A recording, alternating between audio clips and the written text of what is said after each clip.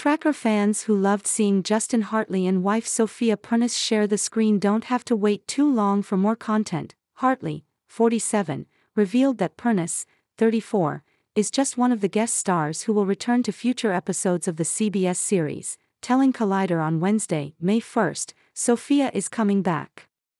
Jensen Ackles is gonna come back. Melissa Roxburgh is gonna come back, the actor, who plays protagonist Coulter on the show, said his former This Is Us co star Jennifer Morrison would be making an appearance as well in an unspecified role.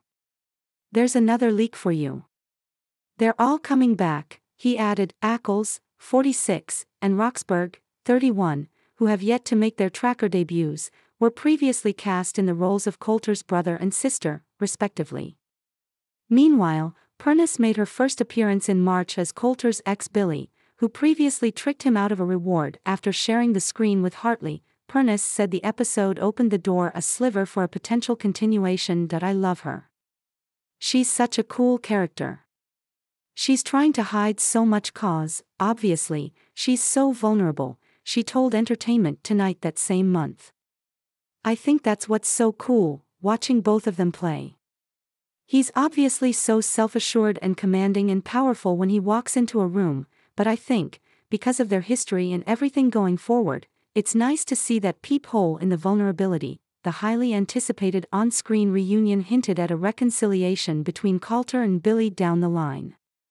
According to Pernas, she and Hartley collaborated on the emotional and steamy dynamic between their characters. It wasn't really scripted for us to kiss, she explained to ET.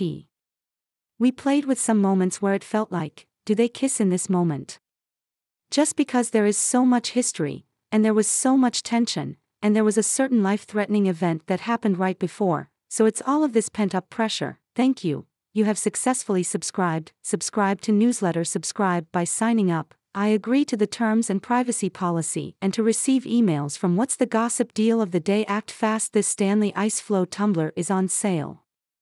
View deal check our latest news in Google News follow us check our latest news in Apple News follow us you have successfully subscribed. By signing up I agree to the terms and privacy policy and to receive emails from What's the Gossip Check our latest news in Google News Check our latest news in Apple News Tracker, however, isn't the first time Hartley and Pernas worked together. The couple originally met on the set of The Young and the Restless in 2015. It wasn't until they reconnected years later that they started dating and subsequently tied the knot in 2021. Since then, the pair have shared the screen on Quantum Leap and now Tracker, it's amazing. It's good for the environment, too. You can carpool and everything, so it's wonderful, Hartley told E! News in February 2023 about plans to star alongside Pernas in future projects. Absolutely well do that. For sure, Tracker airs on CBS Sundays at 9 p.m. Eastern Time.